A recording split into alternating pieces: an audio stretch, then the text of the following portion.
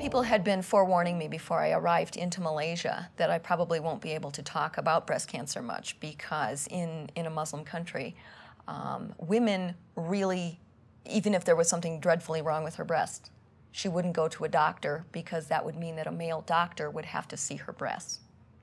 But what I was so surprised and thrilled to see is that because the Lions are, are you know, so influential throughout Malaysia, they started talking about breast cancer. And when the men in a Muslim country start talking about breast cancer, that's really the catalyst for everyone to start talking about it. There was a woman member of parliament that came out to greet me, and she had about 100 of her colleagues with her, big party. And she announced officially that this was the start of a breast cancer awareness campaign in her district. And what I found out is over the course of the next year, she went on to urge the Malaysian government into starting a program just like New Zealand's, which was subsidizing an annual mammogram for women aged 55 to 64. First program like that in Malaysia.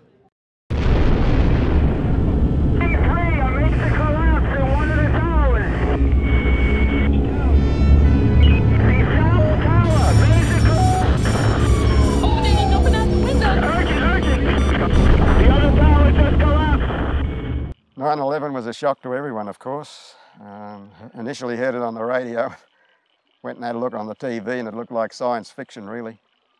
During the morning, I started thinking, I wonder what Polly knows about this, because Polly is walking, so she doesn't, she's not sitting around watching television. You kind of want to know where your kids are, where your people are, and that there's, and of course, almost immediately went to Polly's situation. She was walking in Malaysia, which I knew to be a Muslim country. To that point, Polly was not a patriot. She was not necessarily interested in patriotic things and America first and etc. Now all of a sudden it's in her face. I felt safe enough. There were people with me every day. There were police escorts now, all the way to the Thai border that final month. I was nervous and I was cautious but I also felt that I was relatively safe. But I was in Asian culture, and one of the characteristics of Asian culture is that they don't talk about anything emotional at all. Nothing emotional. And I'm an American woman, man. I want to talk about everything. Deepest emotional, just dig it on, out, you know? And there's no one to talk to.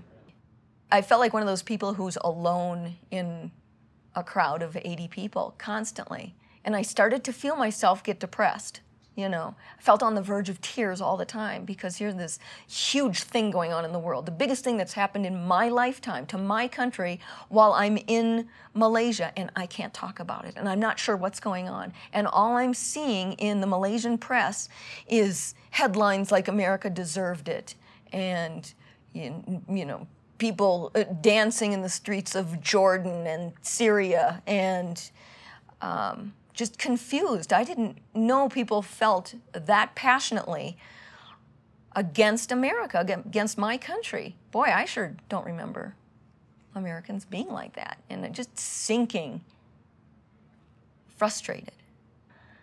So I was, I was kind of walking on eggshells then, all, all the way to Thailand, trying to keep my spirits up.